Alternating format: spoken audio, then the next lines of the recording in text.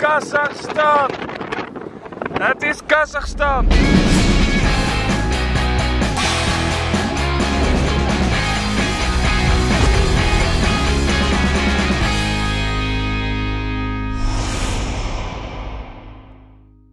Uh, Nick en ik komen net van het uh, consulaat. Dat is goed gegaan in mijn geval. Ik had een letter of invitation, Nick had het niet, die moet wat langer wachten. Dus ik moet nu naar de bank wat geld betalen, weer terug. En dan krijg, heb ik vandaag al mijn visum. Het is heet. Ik zit in een typisch uh, Engels taxietje op weg naar het Oezbeekse consulaat.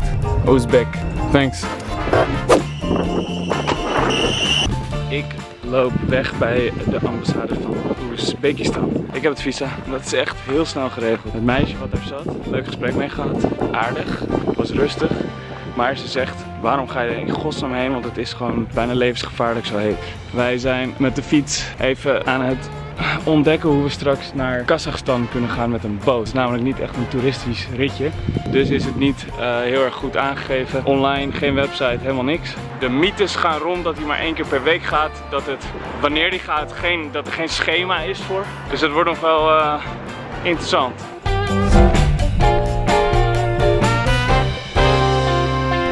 Achter mij vertrekken wij van de plek waar we eindelijk gevonden hebben waar de ferry vertrekt. Uh, het verhaal is als volgt. We moeten eigenlijk elke dag bellen om te vragen of er een ferry gaat. Dan komen we hier, dan moeten we 80 dollar betalen. En dan kunnen we waarschijnlijk op een ferry naar Aktau, Kazachstan. Inmiddels heb ik wel de keuze gemaakt om niet naar Iran te gaan of door Iran te fietsen. En dat heeft te maken toch grotendeels met het filmen van alles. De naam Discovery, uh, de drone in mijn zakken. Als ik daarmee word gepakt in Iran is dat gewoon echt foute boel.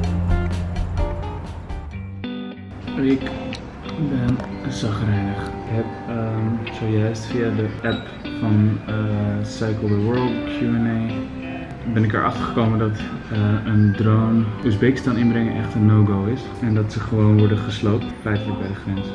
Uh, ik moet even uitzoeken of ik mijn drone kan laten vliegen naar een plek die ik vertrouw. Zo houden we onszelf bezig hier in Baku. Ik ben bezig om te kijken wat ik mee ga sturen met mijn drone. Want dat moet een pakketje worden die naar Dushanbe, de hoofdstad van Tajikistan, gaat. Dus ik ga een DHL kantoor opzoeken en hem dan vooruit sturen. Ik ben eigenlijk heel erg blij dat ik er voor de grens met Oezbekistan af ben gekomen. dat dat absoluut een no-go is. Best veel. Net gedropt door een taxi uh, naar het DHL kantoor. Ik hoop dat zij het pakketje van mijn drone willen gaan opsturen naar Dushanbe in Tajikistan. Hij is net nieuw natuurlijk, uit Georgië. Twee keer meegevlogen sinds hij nieuw is en nu moet ik hem weer gaan afgeven. Dus dat voelt wel een beetje relaxed. Ben net binnengewandeld en ze versturen niet naar Tajikistan. Uh, ik heb nu een partij gevonden, ASE, Asia Sky Express, die dat wellicht wel doen.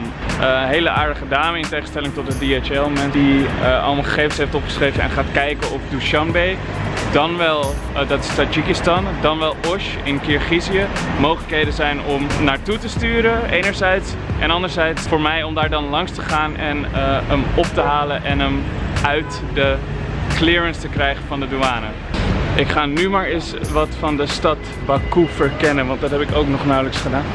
Wat grappig is aan Baku is dat als ik er rondloop en ik gebruik mijn gsm om te kijken waar ik ben, dan geeft hij rechtsbovenin aan dat ik op min 30 meter sta. Baku is namelijk de laagstliggende hoofdstad ter wereld. En dat komt omdat de Kaspische Zee eigenlijk geen zee is, dus niet op zeeniveau ligt, maar een mega groot meer. Het zou betekenen dat ik me wel als Hollander thuis zou moeten voelen. Hier op min 28 meter ligt hij gemiddeld.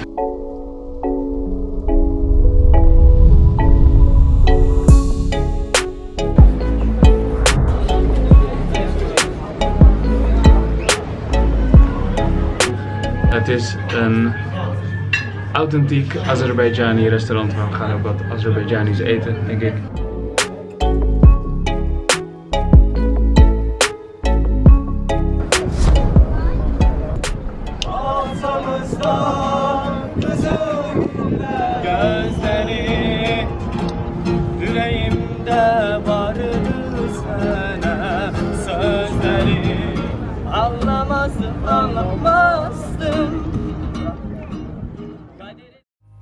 Who needs a drone when you have Madurodam Baku?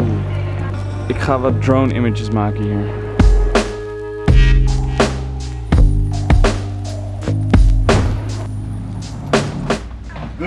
Jij bent snel. Oké. En Nick heeft het visum. It's such a mess. It's such a mess in the room. We gaan misschien met z'n drieën de boot pakken. Waarschijnlijk met z'n drieën.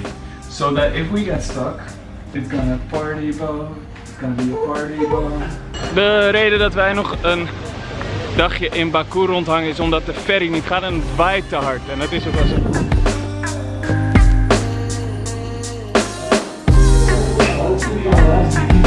Oké,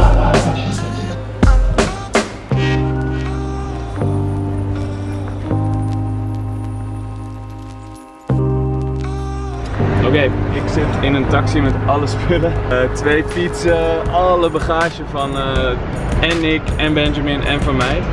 Eh, met de taxichauffeur die mij naar eerst de haven van Baku rijdt. Kijken of we daar tickets kunnen halen, want de boot die gaat vanaf Alat. En daar moeten we daarna naartoe. Nick en Benny die stappen net op de bus daar, die gaan ook naar Alat.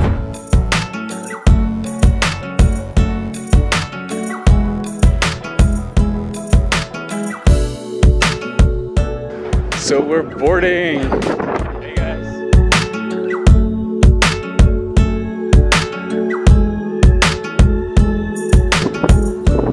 Laat waren we hier? Twee uur. Het is nu bijna 7, 8.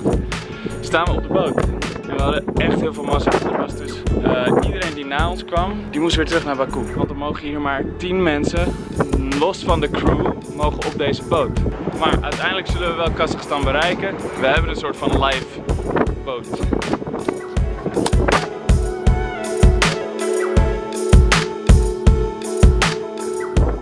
Twee blikjes energy drink die fungeren als een soort antenne op deze boot. Dit is het.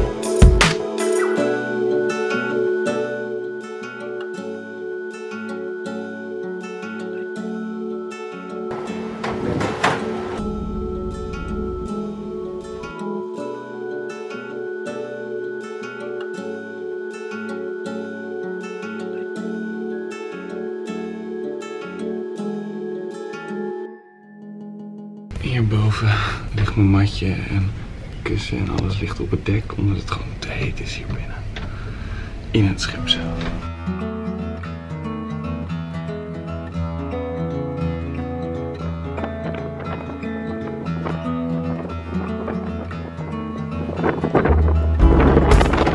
Kazachstan! Het is Kazachstan! Het is Kazachstan!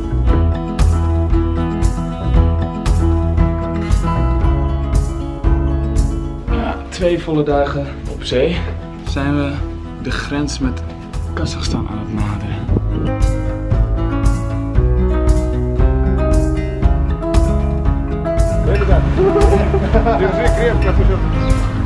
Just in time, bro.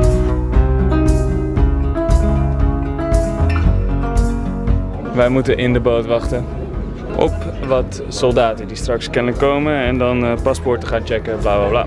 We zijn van de boot en de bagage is gecheckt en dat was tot nog toe oké. Here we are. Ja, vreemd. Raar hè? We gaan nu op zoek naar een hostel in de city Aktau.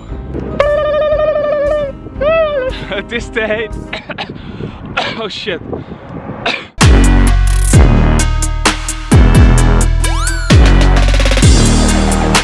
Eh, de mensen zijn hier enthousiast. Hallo. Zwaaien. Eerst op zoek naar een hostel. Hallo, hallo, hallo.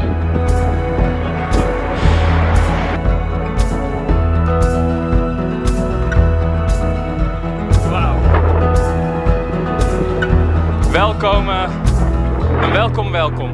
De trein die ik moet pakken, die komt een uurtje later. Want het ziet er zo prachtig uit buiten, maar het is echt, echt gloeiend heet.